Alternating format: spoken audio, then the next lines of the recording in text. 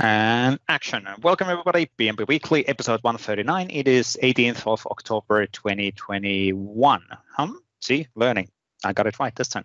In PnP Weekly, we yes. talk about the latest in Microsoft 365 platform, and typically we also have a visitor. And today uh, we'll have a cool discussion with Andre. We already recorded that, so I know that it was really cool. So, uh, but is anyway. it though?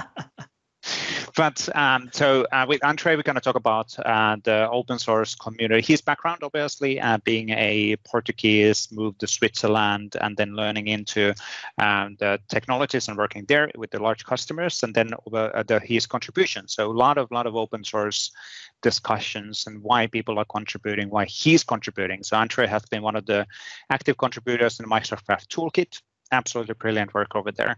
Um, but let's not dwell on the intro too much. Let's jump on the discussion and then after that go to the articles. So welcome, Andre, uh, to PnP Weekly. Um, I have no idea what the episode is. One episode 139. Thank you, Waldek, for putting that in the invite. It says in the title. so prepared. Yes, always, as always. but uh, let's start, Andre. Uh, quick recap on on who you are, what you've done in the past, and then let's talk about your current and present and future stuff after that. But where, what's your background? Where do you come from? So, uh, thank you. First of, first of all, thank you very much for, for the invitation. My name is Andre Lage. I, I work in Switzerland, but I'm Portuguese by, by, my, by nature itself. I already live here for 11 years, and uh, my background is uh, is very similar to some of uh, of the commenters that we have at uh, on on, that, on, this side. So we I started, of course, with um, with the, with the .NET and Microsoft, and then I was presented with the with the SharePoint, and then I really enjoy and really, really deep, uh, uh, deep. I deeply understand the, the technology. Try to understand and in 2009, I went with, uh, I, I got the MVP, and uh, was long, long time ago. And of course, um, and uh, I started to work with uh, with SharePoint technologies. Then uh, then I have the call. Someone called me from Switzerland if you want to come uh, to work, and uh, I have the opportunity to work in, in the from 2009 uh, in Switzerland with all really really huge corporations like uh, more than 100,000 uh, people working there. And uh, I started in 2010 with uh, ppushd and when I really was uh, needed to start with the SharePoint Online.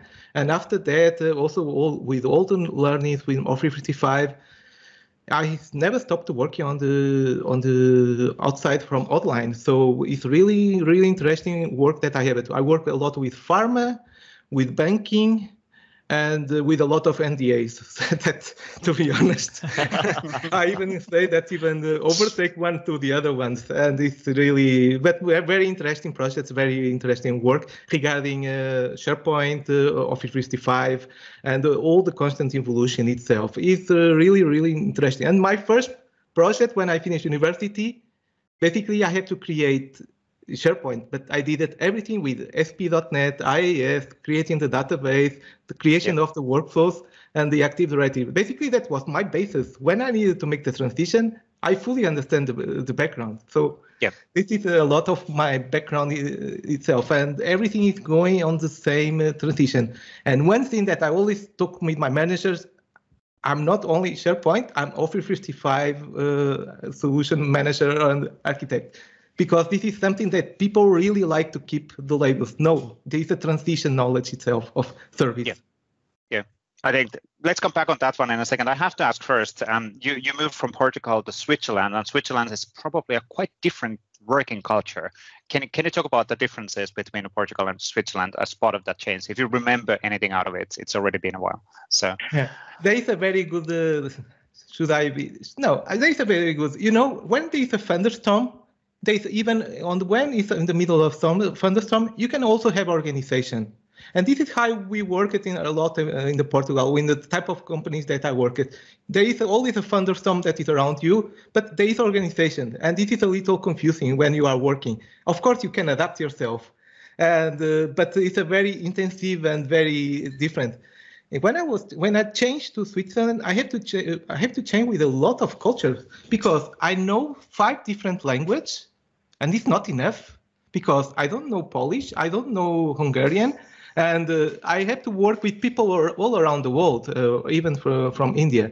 But the culture working with uh, in Switzerland is really more uh, uh, because I also work a lot with Germans, and Germans are very strict and in the way of thinking and the way of working. But this is good because the way I was working in Portugal, I was like a, the seven instruments person that I need to know everything at any time, and I'm thrown to the lines that uh, you have to understand everything very fast.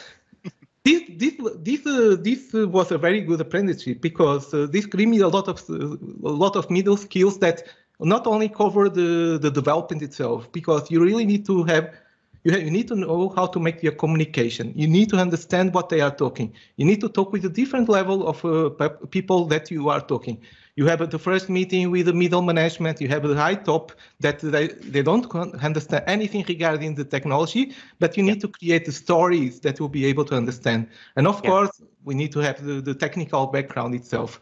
And uh, basically, this is using this component that I learned from Portugal. When I have to make the on the Switzerland, this is more organization. There is more processual, the more or process oriented. What is good, but also give me the leverage to fully understand the full of these concepts that uh, people also valorize it because okay, you are not only focused on this area, you can really understand the, the full concept and yes. also can give the good guidance like a, a lot what you both also do with the with the community. You, you easily can identify who are the developers, who are the business process, and you can even put them together to know or to how to present the, the, the technology.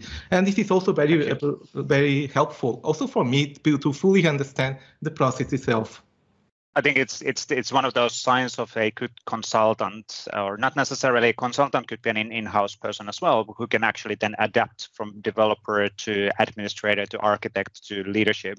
But those are completely different skill sets. Like I said, it, it's an interesting challenge for sure. So mm-hmm.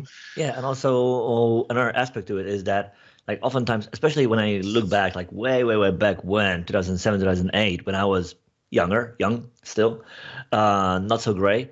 Um, and I would primarily code for my work, right? So like oftentimes yeah. like at that stage, you would build something because it was cool, and you couldn't really convey the message like why is that important to business yeah. to non-technical users, right? And that's a skill that, at least with with me over time, that the more you try to stop and think about okay so what is it that we're trying to do what problem we're trying to solve how is that whatever we're trying to build is going to address that and these are these these things aren't really trivial to understand because then you need to have the empathy for users business problems that they have and then think through like okay so like how can we express what we're building and value that we want to add with this sure. thing Sure. Exactly. And, and actually that even applies to the product and features what we do in microsoft nowadays being a, person in the engineering which is it doesn't matter if, if you do the best possible technical solution unless the end users understand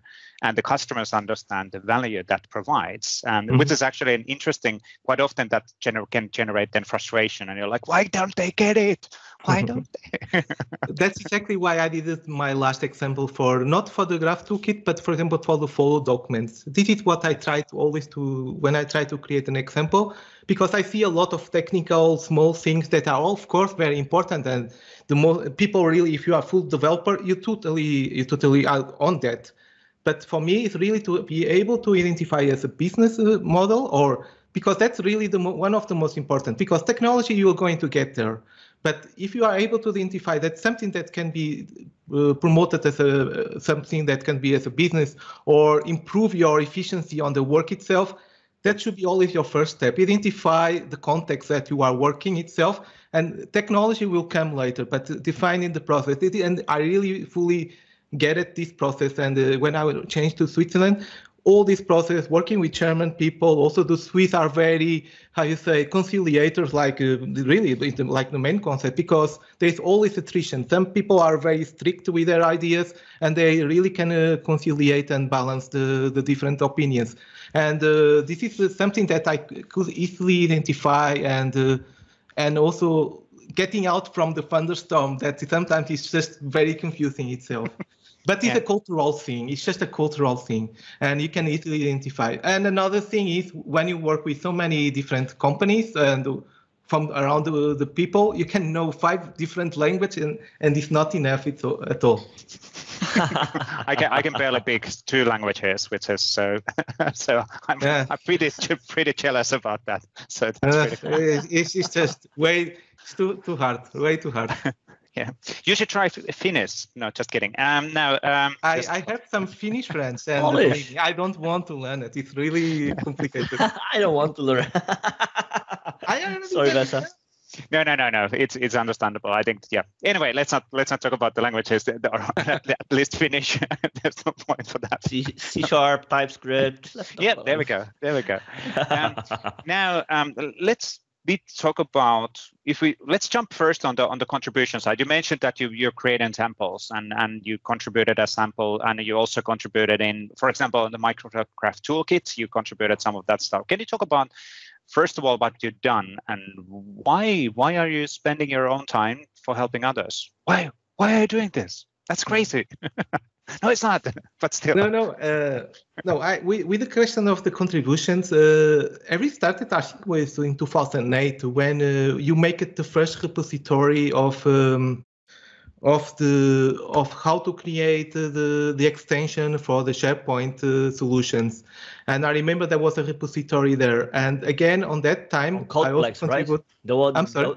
There was on CodePlex still. Uh, that was CodePlex, uh, still, right? The add-ins. The, no, no, the add-ins. No, no, no. Still on the PNP. The add-ins that was made it, uh, for the extension. So the SharePoint yep. add-ins itself, and yep. Uh, but not from the CodePlex. Uh, so from that moment, uh, I contributed with some uh, JavaScript management uh, and the old way of uh, people do it. And uh, I was imagining, okay, the way the technology is going, I don't know why if they are getting less less server side or let's say still there, still needed definitely for a lot of other reasons, but everything is going really on the client side point of view. And there was always a big challenge because everybody was questioning security, security, security, security regarding the client side. But in the end, right now is where everybody's going. Oh, and uh, I can understand why. I understand the, the value. Uh, but uh, from this moment, and I always try to follow very, very closely. And then in like in the beginning of this year, I started with a contribution regarding the, the SPFX reusable control, and I wanted to start to learn because I see the value, I, I have the need, and uh, and I start to see and say, okay, uh, I have my background regarding this part.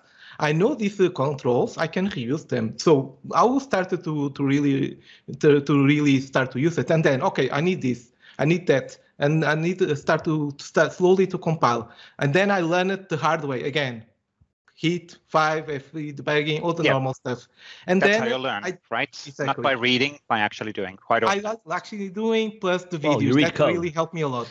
And uh, and uh, if not, believe me, I, I think Microsoft went with a really really nice way now like bombarded us with trainings and documentation and all the everything regarding this topic. And definitely it's a really good, job. And I think I'm a good case that I really pick it in the question of of the date and I really learn it strictly fast.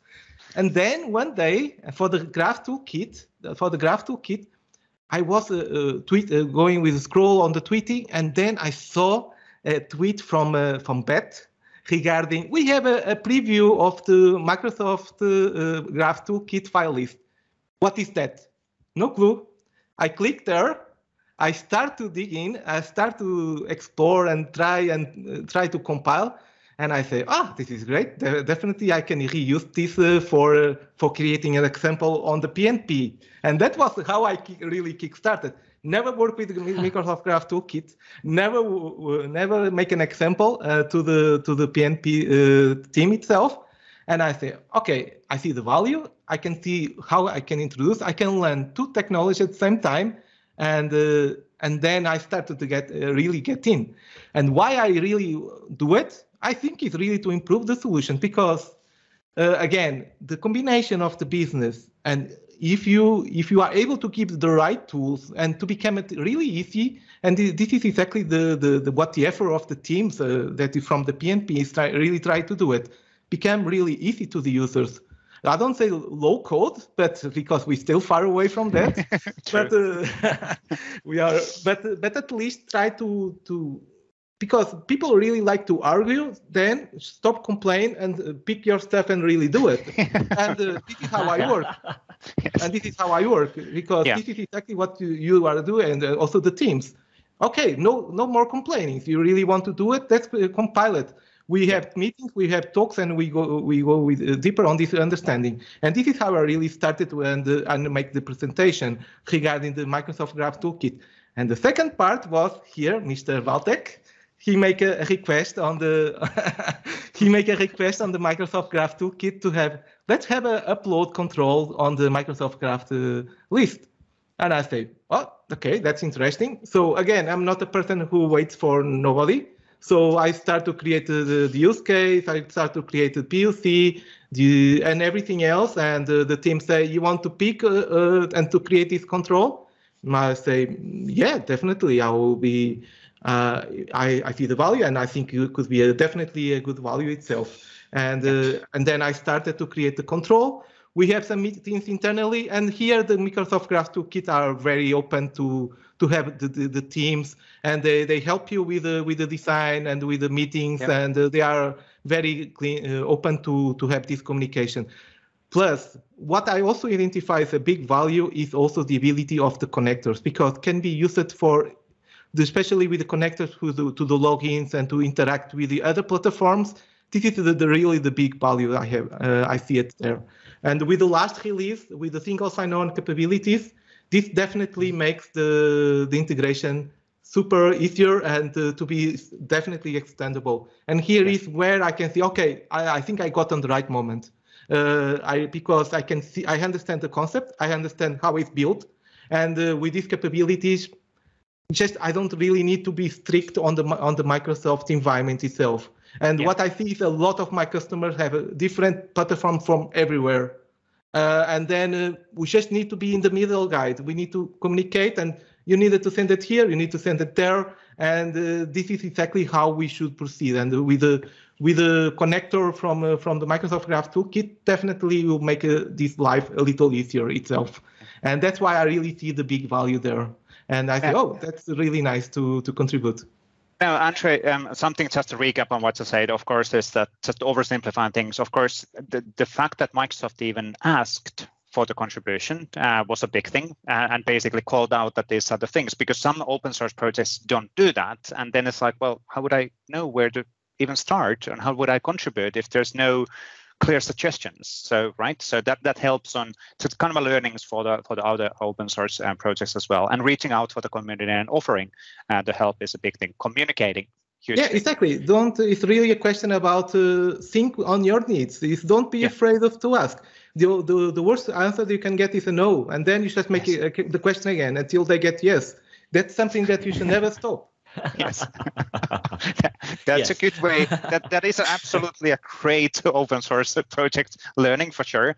Um, and especially so so one of my good example which we talk quite often uh, in in the PnP team is is for example PnPjs which i know that you know andre what is a PnPjs but i still remember when uh, patrick created that it took a long time for people to catch what is this? Why would I care? And now everybody is using it as, as long as they're hitting the SharePoint APIs.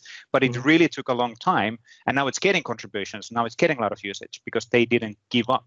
They basically kept on repeating and improving and sharing information and sharing samples and just constantly, consistently just pushing forward, um, which is a which is an interesting challenge, of course, for this open source project. When do you give up or when do you actually keep on pushing? So, but thank you, Andre, for jumping in on the Graph Toolkit. You're an awesome example on, on what can happen when you keep on pushing because your controls and Simon Ågren um, contributed on the latest version of Graph Toolkit. The primary new things in that version were from you and Simon, and that's pretty groundbreaking. It's it's really really cool.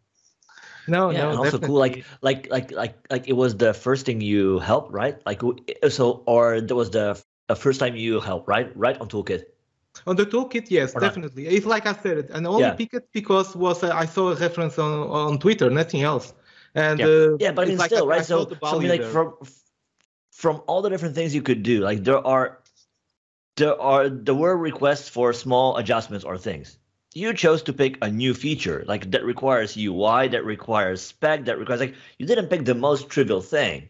So like it's just one plunge into the deep. You know what? I'm gonna do it. I, have never worked with this thing. I can can compile and build it, but that's about it. And then I will just take the leap of faith and do it. And you did it. You worked with the team. You shipped it, and you added a new feature to a Microsoft product. How cool is that? The problem is people can then if they complain i am always listening and i should be quiet until i can jump in when they're going to use it. No uh, because the, pro the that's the, the, interesting part. Because i know who are the people who are using. I work with these type of corporations. I know that microsoft will recommend these tools. And uh, the, the, i know that they will, will use it. And if they have the right guidance, because then people really who contribute he really knows about this stuff, about the, the, the, technology. And here is you have one big opportunity because it's there, it's out there, and it is ability to, to be readable.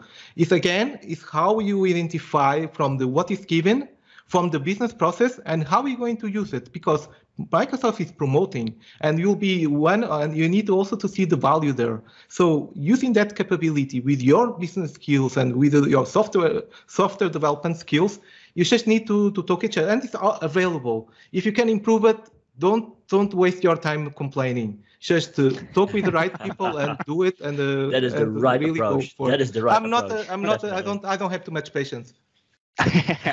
now, now, Andre, I will. Sorry for coming back on this because this is one of the, the interesting discussions for sure. In a global global um, uh, scale, there are different cultures, there's different mindsets, and everything else. Uh, how did? You, what is your mindset? Why did you want to contribute to this centralized thing and not build your own and just use that? What, what is what made you actually to keep it available and share it to everybody else? What what where does that come from? Uh, the, the, the ability to, to share and it's the ability to improve. Because uh, what we what we we for example what we we learned we, if we are building if even if you, you are using something from uh, from a private uh, it's always going to find issues. And here is the ability to to really improve and to really correct itself.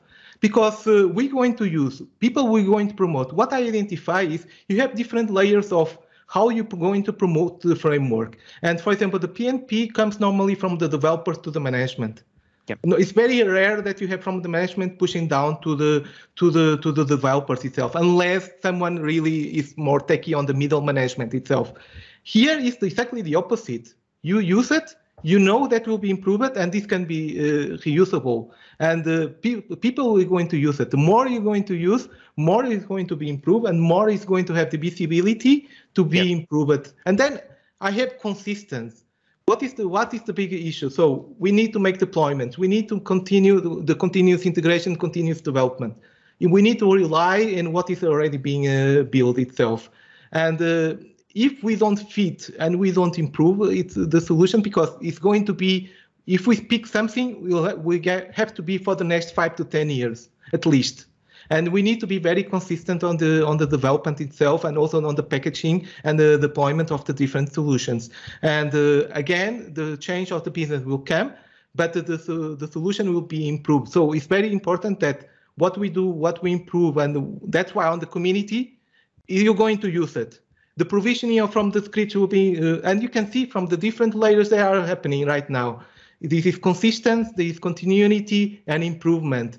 And uh, they are more open if they, we need uh, to get some correction and some uh, fixing. Yes. Like, for example, the last one from Waldek, that from Cecilia is some open questions. And this is the direct question that we should ask ourselves: How do we can we can improve it? And this is uh, how, from from my point, is when I do it, I do it to share it, to also to that other people can contribute it. But I'm also thinking to my own work because people yep. is going to use it, and uh, it's not a, it's not a question about egocentric. It's about the team itself. It's about the consistency itself and about the improvement itself of the what of the, the solutions that we are delivering. Everything is perfect. No. Can we improve it? Yes there is patient for that eh, not me maybe another person but uh, that's another topic yeah but uh, of course as we as we build the same product together we learn from each other like you said and then then it's the same peers. So somebody fixes something, you'll get it that fix as well. That's that's the beauty of the open source if it if it truly works. So It if it's actually works. being yeah. because If- that's that's the, the the biggest the biggest challenge is really consistency like you normally also like to say it the Yep. consistency is not liberty for free that's is called libertinage and we don't want that. We need control like always. And uh, between anarchy and to have it uh, some type of uh, process definitely the process will win. And uh, this is exactly what uh, you you both doing a good job on this topic because you cannot leave it to anarchy. And this is exactly what we should uh, focus on. That's actually Yeah, a good way of putting that. so, So is the, if if there's one thing that I learned um, managing um, CLI for Microsoft 365 over the last four years or so, it's exactly that. Like you want to have a balance between the control. Like you don't want to be too rigid, right? You want to give people the ability to choose because it's open source. It's like nobody's employed. Nobody. It's nobody's job to do it. So people do it. Um, they contribute of of free will, right? It's their free choice to choose to spend their time to do that, right? So, in a way, you want to give them free choice. Like, do you want to help with docs? Do you want to help with tests? Do you want to build new command in an area? Do you want to improve things? Like, pick your thing. Like, if you want to help, this is the set of things we can do, but it's a finite choice, right? Like, if someone would say, like, yeah, let's rewrite it in Python, it's like, yeah, that's cool, but that will not work, right? So there is the control. There is um, boundaries within we which we work, but within there, we also want to give people room to choose which area they want to do because maybe they want to learn new API, maybe they want to learn how do you manage teams with the API that is exposed on Graph, right? So yeah, we have commands or we have need for improvements in that area of CLI, and if they want to do it, it's there to pick, right? But it's still within the uh, limits that we draw, right? So we have this limit, or or we have the balance between, like we are not, it's not anarchy, but it's also not too rigid. It's No. it's it's really the middle ground. But that, If that you- is a hard thing to define for sure. Sorry, Andre, but it, it's it's really hard to find that right balance because we see projects which fail It is. because the person doesn't give it up, um, and you need to give Yeah. the freedom for community to actually build stuff together and creating a team for scalability. Um, but it can't be anarchy as well. So it's it's an interesting challenge for sure. No, no, I definitely, I fully understand, and uh, this is uh, based on our years of experience, we can easily identify this uh, as something that is definitely uh, a way that we should keep it. Keep the freedom to the developers because they want to have their own self-expression and self-pride. Let's call it like this. and uh, but uh, of course, Autonomy, the, right? the boundaries Autonomy. to- I'm sorry. Yeah. Autonomy. they want autonomy. to have autonomy, right? So they want to be able to choose what they want to do. They take initiative. It's their their choice. They are not being told to do this. Yeah. They choose to do that. Yeah, and uh, and this is also the message I think I see from your side that uh, not uh, please don't. It's not a question of uh, you just do the, the the job. You what you are really contributing is really to improve and how you can deliver your own solutions itself. So the the liberty of uh, have the control, understand well on the deliveries. Plus, I think here is uh, where you also slowly are going there the ability to create solutions because people are also motivated by goals and the goals not only to create the controls. That's the only the controls are only one of uh, from the milestones that's a baseline. That's called Yes. like this. Correct. Yeah, yeah, yeah. yeah. and uh, in the end the milestone is where we should uh, should end it. And people are proud Uh, people are really proud when they contributed and they can share it. And with the business proposals on the top of that plus the platform doing okay this is exactly what we wanted to achieve. And uh, people really fi- feel the pride itself. It's really a combination of different uh, factors. And we are talking But about guess- people always Yes, yeah, exactly. yeah. And I guess there's also a need that evolves over time because if I look back at the younger me, it was just cool by itself to build stuff. and then over time, as you've built a number of things, you're like, hey, but why am I doing that? Like, what purpose does it serve? And that's a need that evolved over time that, as you say, you don't just want to build things. You want to build things and then you want them to be used. You want them to be understood. You want them to fit into a context, into a uh, problem that people have, right? So you want this next level, like you basically raise in the layers that you want to achieve. Like it's not enough to just build because you know you can do that. You've proven that time and again. So why? What problem problem does that solve? And then as you get more and more experience, I believe we choose to pick more challenging issues, more open-ended questions that we want to solve with our work. What and exactly, and this is what I learned about uh, about the uh, pathology of uh, understanding the human being, and it's about uh, we are we are like a pyramid of needs. You know, we start yeah. with the very basics, that's uh, food and all these things. Development is a little bit about that. It's the rest, the first layers that of of what we need to fulfill that we still we need to feel uh, comply with ourselves and uh, this is something that uh, I, I, do identify as a human being and this is what makes us also ourselves realize not only delivering the work itself they also as accomplished as a person because we're really delivering something that people are really using the impact, of course, is very tiny itself because we do some small things, but the combination itself has an in fact, uh, important factor. The yeah. ability to use all these solutions that we are out there, we are impacting the organization and we are impacting their own working of collaboration point of view. And uh, this is exactly the right of type of work. And again, again, the work that you do it with the solutions, with the trainings and all these things, uh, just keep the ability to to easily and fast understand how this can be delivered itself with a combination of uh, good business uh, analysis plus with the development itself you can easily deliver all these things i'm talking about graph i'm talking integration with other platforms. Just choose it because the what is already there is already a bunch of service. Use it and use it wisely because sometimes like, like you said at Waldek, we so if you are starting be understand that before you develop something, see what is out there, and then because that's so that's so important sometimes the mastering and the mentoring. Because when I, someone very new is coming it's very important. This is also what i learned from here in switzerland. You need mentoring. Because they start to work at 14 years old here. Yes.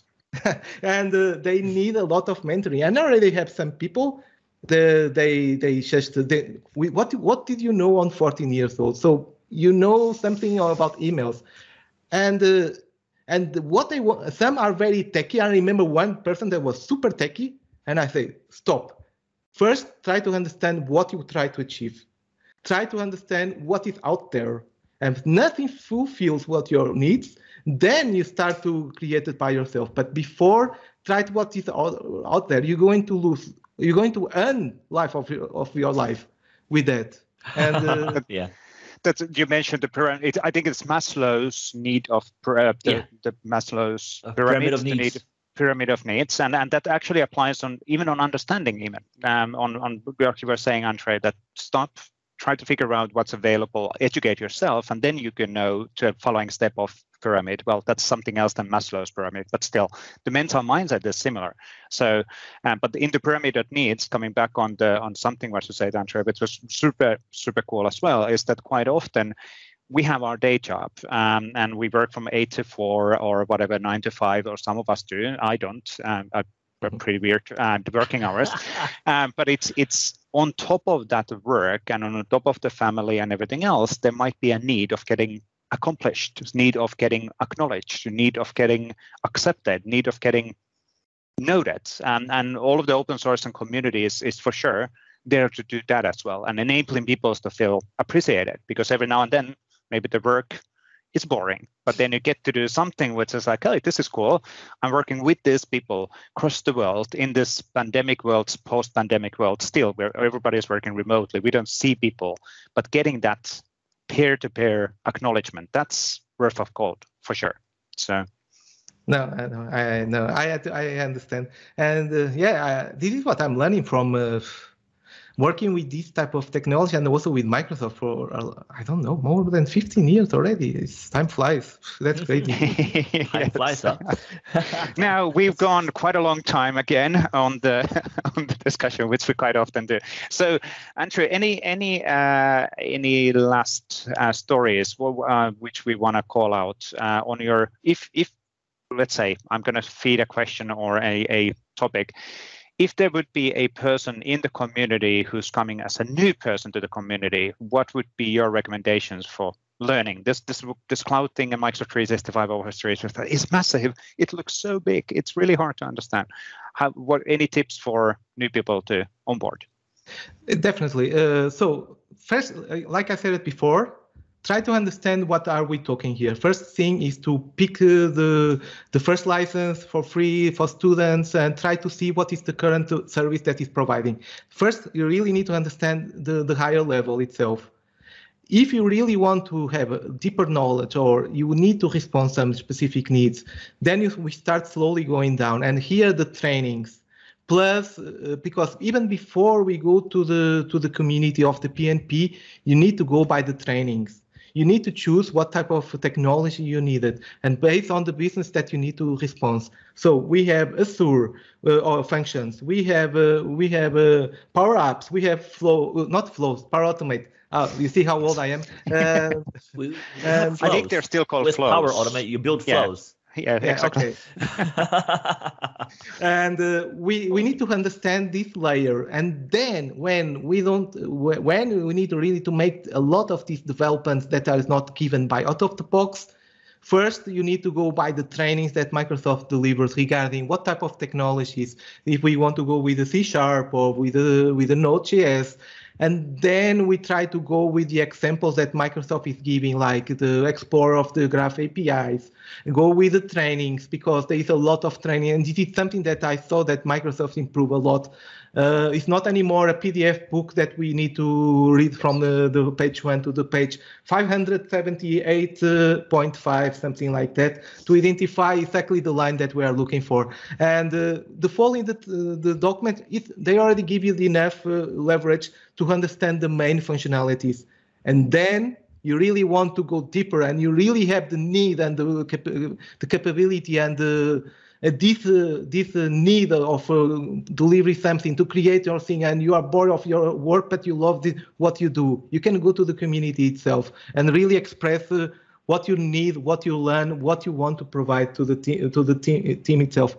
And this capability of mentoring is also can also come from you and also the community that is really open to you so you're not going to the i'm saying the best guys will not give you not going to bring you down they're going to give you the right guidance itself. So don't even be afraid to make the questions. Like I said, I'm very annoying. I question a lot, and uh, I get normally my results uh, the, the, way I want. So don't don't over don't over question, but the ability of making the questions. You, if you don't understand, just make the question. Don't be afraid to to make the question. I think that's the most uh, what I see. People get a lot of afraid uh, because of everything.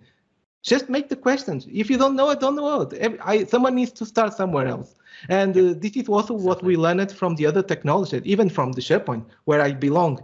I never go. I never when a developer came to me and say, "Where sh- where should I start to develop it?" No, understand what comes out of the box. Then we go deeper.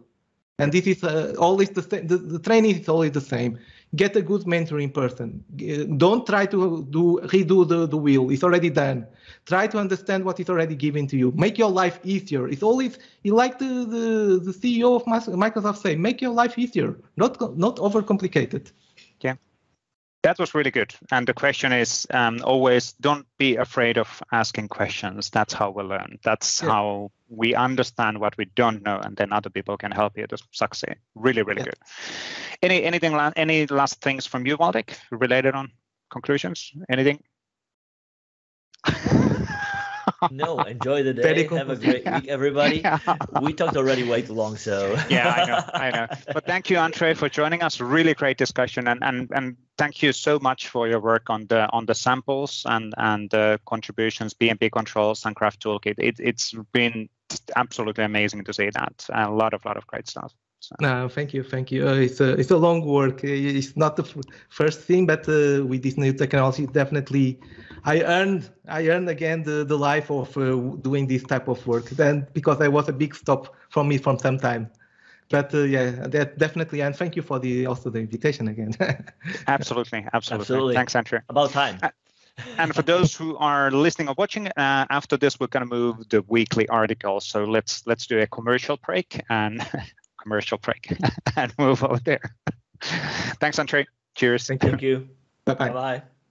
Cheers. So cool. Thank you, Andre, for joining us. Uh, as said already as we closed. So thank you, thank you. Awesome work and, and really good actually discussion. That was really interesting um, as well. Um, a lot of Andre has obviously a lot of expertise on the on the historic background and historical things, and, and it's good to see the excitement on the community. Good to see the excitement uh, on open source uh, areas as well. Um, should we jump into articles? Let's do it. Let's do it. Let's do that. So let me share my screen. So uh, we didn't want to have too many articles again today, um, but let's start with the Viva Topics. Uh, so there's a, a Viva Topics news uh, from Chris McNulty. He's director, marketing director, uh, related on uh, some of the Viva areas. And there's basically a Yammer integration coming for Viva Topics and that means that the, the the terms or the labels will be then also lighting up in the Yammer as well. So which is really really cool. So we're really uh, integrating the Viva topics as part of the Microsoft 365 platform, and then from the data uh, we are auto generating the knowledge. Uh, what is it? Knowledge, knowledge, knowledge center center Pages, knowledge, knowledge, knowledge center, yeah, well, anyway anyway so the centralized knowledge center for the information. Um, it, it's really really cool. Um, and something to certainly it's great that it's extending to yammer side as well. Now uh, thank you chris on that. Then we had a uh, update from bob german uh, your colleague Waldek uh, on building great bots for Microsoft Teams with Azure Bot Framework Composer. Uh, good blog post on the new Microsoft 365 platform blog, uh, which has been relocated.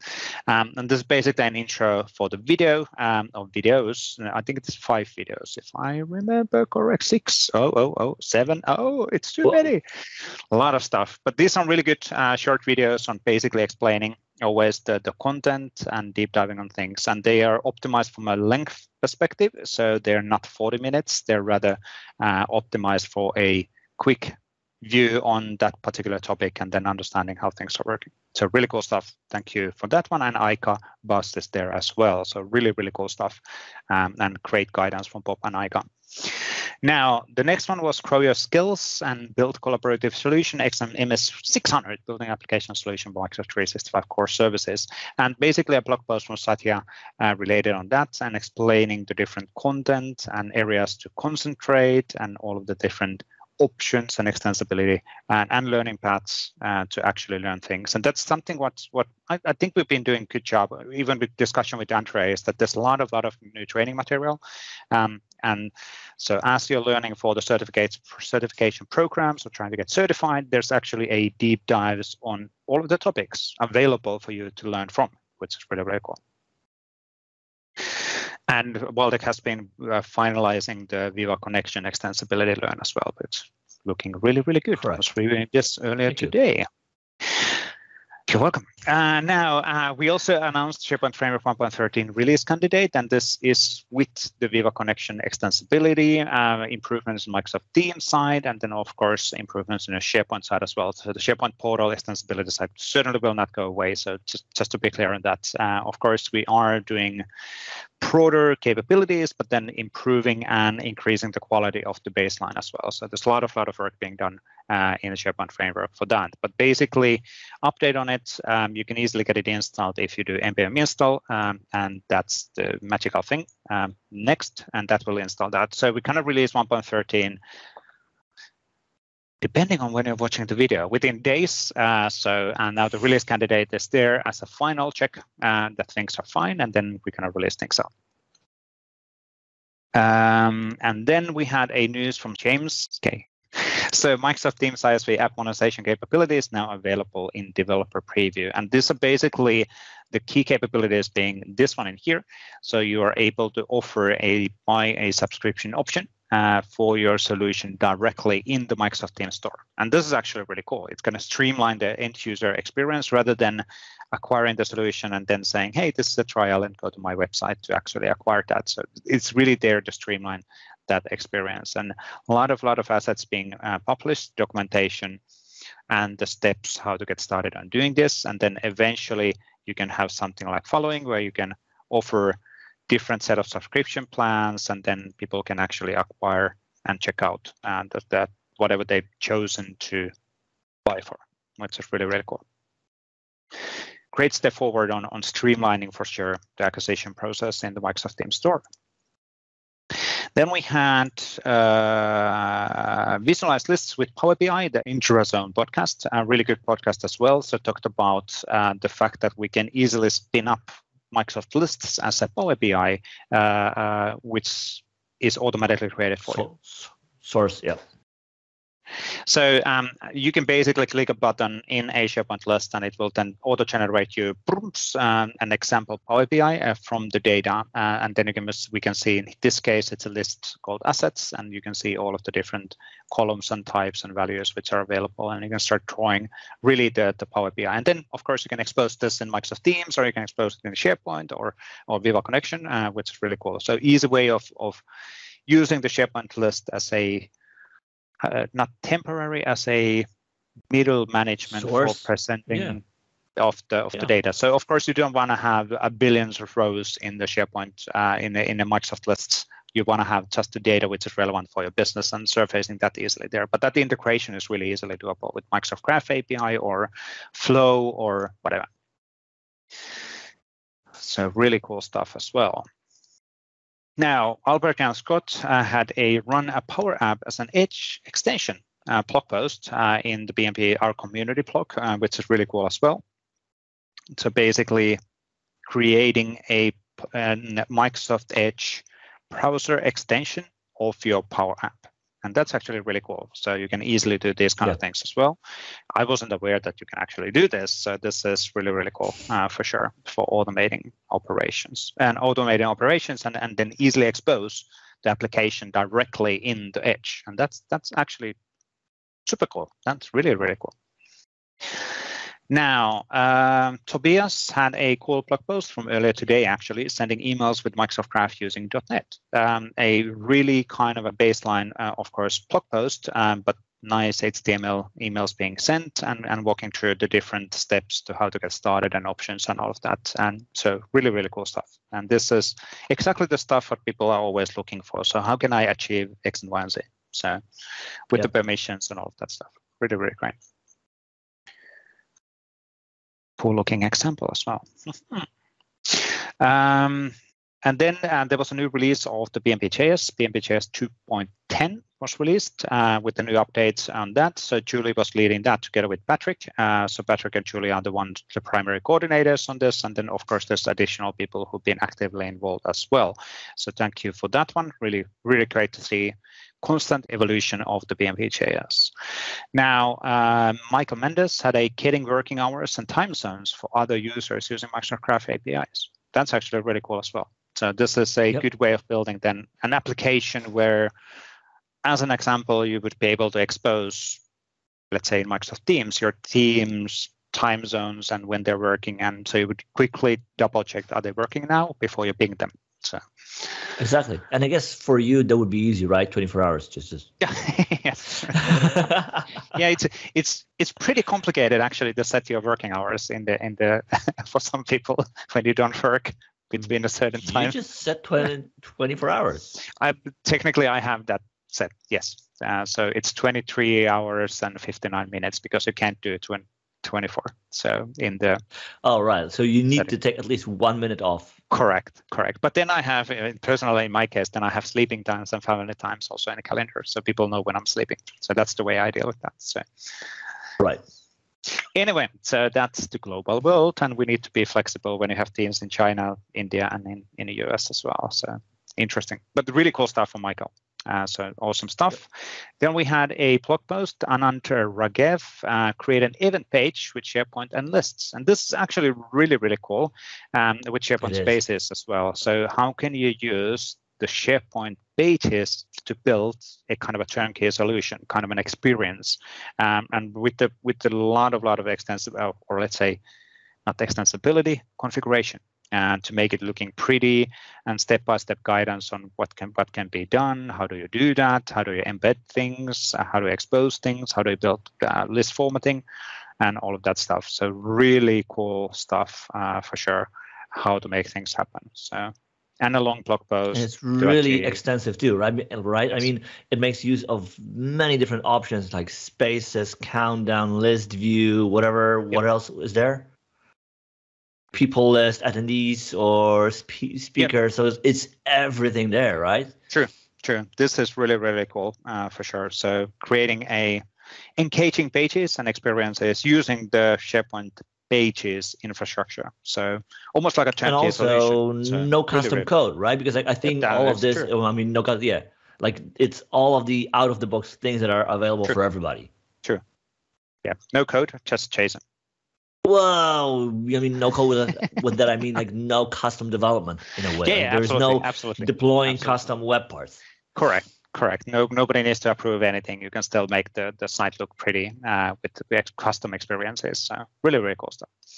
Now, uh, then uh, Damien, Damien Bowden um, had a creating Bowden. Microsoft Teams meeting in in ASP.NET Core using Microsoft Graph application permissions. So basically, creating Microsoft Teams meeting with the Graph API and, and walking through that process. And this is a part two. So walking through that uh, step by step, talked about the implementation and all of that. And if I scroll all the way down, we can see a, a example application where you can actually create the meeting using then the Graph uh, APIs. So really cool stuff as well. Great reference for future, and also uh, example uh, pointers in the in the GitHub and other assets available. So great job on that. Um, Liam Cleary, using the Microsoft Graph PowerShell for security alerts. So how do you do that? Um, so how do you get started installing and then uh, getting the scopes and then doing the operations in the security alert? So really cool stuff as well. Great reference for future for anybody to who's looking into doing these things. Uh, Mark D. Anderson had a clean up unwanted site columns from content types and list libraries. And that's a great blog post reference, um, how to do that. Uh, so how do you go and clean up additional leftover columns potentially if, if something has left leftovers and then analyzing what's available, outputting stuff as well. So great reference as well using PnP PowerShell because, well, easiest way to operate on the list level for sure. And then the last one, no, what's easier? CLI. Really? Ah, fair point. Matter of an opinion. It depends, right? Yes, exactly. All preference. Exactly. It's all the matter of preference.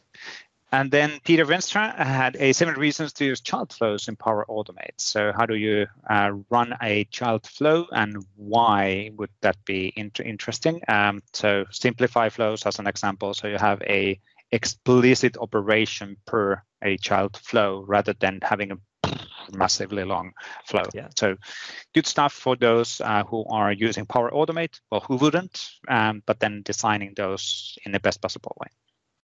So really cool stuff as well. Thank you, Pieter, on that one. But that's it for the articles. So what's happening this week, Waldek? Um, finishing work on Viva Connections extensibility le- learning path. I'm Um, hopefully right we'll now. see exactly, exactly. So hopefully we'll see that uh, go live really soon. Um, we released last week a few preview versions of CLI for Microsoft 365, adding new commands, improvements, new samples. So I'd encourage everybody to check check that too. Um, other than that, there are a few more internal things on my plate. So stay tuned for more output coming soon. Yeah. And you? Things which we can't talk about yet. So the SharePoint Yeah, Framework yeah, it's- It's coming. It's coming. yeah, SharePoint Framework 1.13 with Viva Connection extensibility goes GA hopefully this week. Am I giving away too much? If it's not, then it's next Yes. week. um, so um, hopefully it will happen this week. Uh, so, um, but let's see. That's the objective. But again, if we find something on the later test or later in testing, then it might delay some of the announcements. So it's it's just a matter of software development.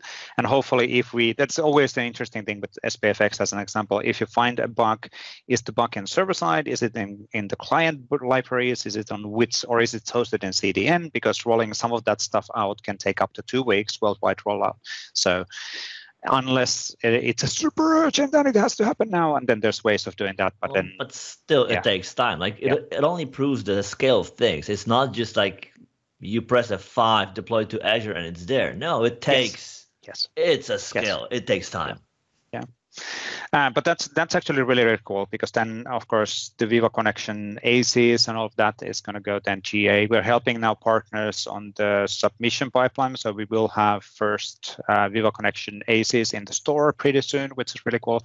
Um, and then a lot of planning, actually future planning for SPFX. It's it's it's awesome to see um, a really leadership level commitment on this auto-hosted extensibility model as well. So because again, if you're an ISV, of course you'll do a SaaS application in Azure or AWS, and then you surface that into, oh, will you? 365. I don't know. Well, fair point. Um, but then, uh, fair point. There's there's options. Uh, if you're building an ACE, it's going to be auto-hosted in Microsoft 365, and then you take advantage of SharePoint framework. But the future planning is is actually really starting now for next calendar year, um, and there's a lot of lot of interesting stuff in the pipeline. But it, it's great to see the we're getting now spin up additional teams worldwide uh, working on the SPFX and, and the, the related technologies and a lot of lot of investments in there.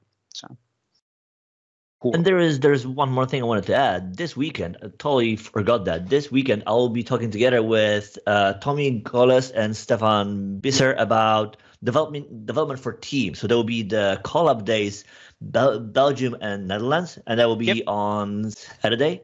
It will be yep. a virtual event for everybody, uh, free free to join, and the three of us will talk about uh, developing apps for teams using yep. the new Teams Toolkit V2. Ooh, fancy. That is a really good yeah. set of tooling. So that's going to help a lot on, on simplifying things, still in preview, uh, but getting there eventually for sure. But I think that's it for this week. So thank you, Waldek. Uh, thank you, Andre, uh, one more time. Uh, thank you, thank you. Um, and, thank you, Vesa. Uh, we'll be back in the, with the new PnP Weekly within a week. Cheers. Bye-bye. Bye.